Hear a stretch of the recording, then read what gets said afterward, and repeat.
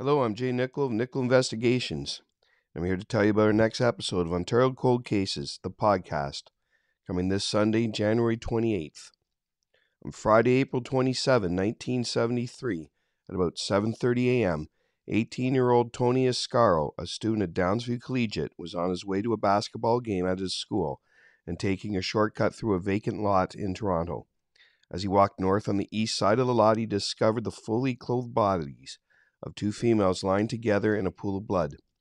Iscaro went to a nearby factory at 949 Wilson Avenue and called police, who attended at the scene a short time later and an investigation into the deaths was commenced. The two victims were identified as 17 year old Donna Stearne and 17 year old Wendy Ann Tedford. Autopsies revealed that both girls had been shot in the head the shells recovered and indicated a 32 caliber weapon had been used. Please consider subscribing to Ontario Cold Cases, a podcast on Patreon, Spotify, YouTube, or Apple Podcasts. Hello, I'm Jay Nicoll from Nicoll Investigations. I'm here to tell you about some of the upcoming episodes of Ontario Cold Cases, a podcast.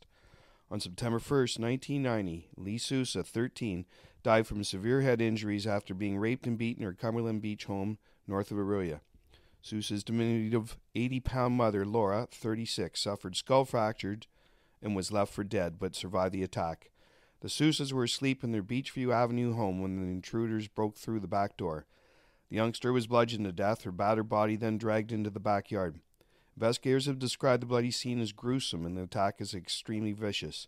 Nine month old baby boy Michael was found unharmed in his crib.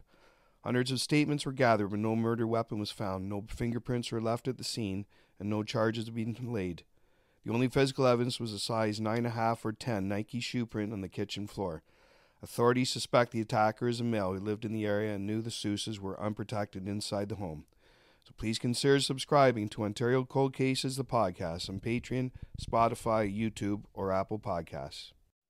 Hello, I'm Jay Nicoll from Nicoll Investigations. I'm here to tell you about some of the upcoming episodes of Ontario Cold Cases, the podcast. Cindy Halliday, 17, from Waverley, Ontario. Unsolved murder in 1992. On June 16, 1992, a skull belonging to Cindy Halliday, 17, is found by a man walking his dog in a wooded area off of Horseshoe Valley Road north of Barrie. Dental records confirm it belongs to the Waverley teen who was reported missing April 21st, the day after she had hitchhiked to Barrie.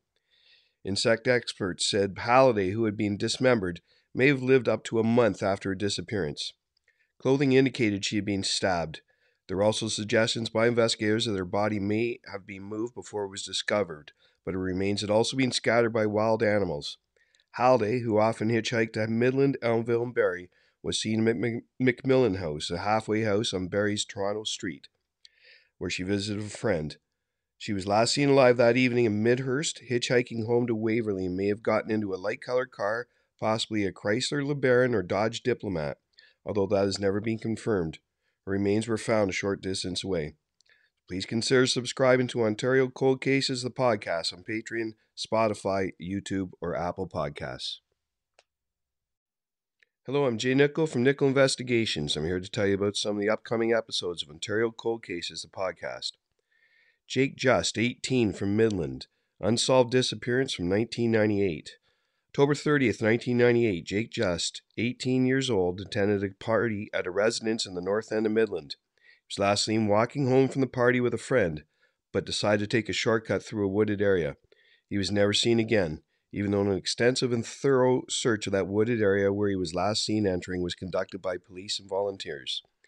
Please consider subscribing to Ontario Cold Cases, a podcast, on Patreon, Spotify, YouTube, or Apple Podcasts. Hello, I'm Jay Nicoll from Nicoll Investigations. I'm here to tell you about some of the upcoming episodes of Ontario Cold Cases, the podcast.